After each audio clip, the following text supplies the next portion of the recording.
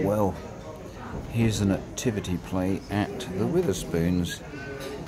The only problem is somebody has stolen Jesus that was here. Some drunk has had away with Jesus. So we got the kings. We just haven't got Jesus himself. So how about that? A time of goodwill for all men. Except someone stole baby Jesus. So uh, if anyone knows where baby Jesus is, please bring him back. Yeah, thank you. Merry Christmas to you all.